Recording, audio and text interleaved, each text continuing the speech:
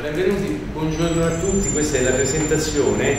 della delegazione di AGA, dell'Associazione contro gli abusi in divisa, eh, che eh, incontrerà a Bruxelles alcuni parlamentari europei grazie all'iniziativa del UE, il gruppo eh, unitario della sinistra eh, al Parlamento eh, europeo. Abbiamo costruito dentro quella che noi abbiamo definito l'anomalia Italia e per in qualche modo eh, raccontare l'anomalia in, in, Italia, che è un sistema complesso di, di violenze, coperture politiche, mediatiche, mediatiche e geopolitiche che in questo paese sta vedendo delle vittime. Eh, io credo che la repressione sia l'altra faccia dell'Europa neoliberista, dell'Europa dell'austerità. E, e all'interno di questo contesto europeo c'è il caso italiano e noi di questo caso italiano vogliamo fare un tema di lavoro portarlo all'attenzione del Parlamento europeo in primo luogo attraverso eh, le voci dei parenti delle vittime e le voci delle associazioni come ACA, come Osservatorio eh, sulla repressione che su questo fanno un lavoro eccellente eh, da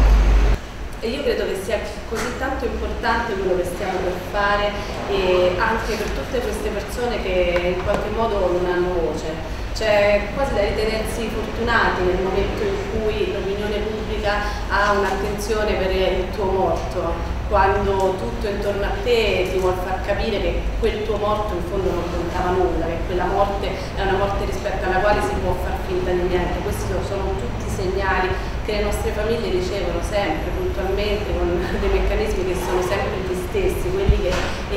qualche modo vogliono lasciarci nell'isolamento, nel silenzio, nel, facendosi forte del disinteresse generale. Questa iniziativa per noi è una chance, una possibilità concreta di sollecitare l'attenzione dell'Europa rispetto a un paese come il nostro che diciamo, è un po' pigro nella tutela dei diritti umani e soprattutto nella repressione della violazione dei diritti umani. È un po' pigro anche a livello legislativo perché non, dotato, non si è ancora dotato di una legge sulla tortura efficace, reale e quindi per noi è una grande possibilità perché attraverso vicende terribili e purtroppo numerose quale quelle delle famiglie che avranno possibilità di essere ascoltate dal Parlamento europeo e anche attraverso la mia voce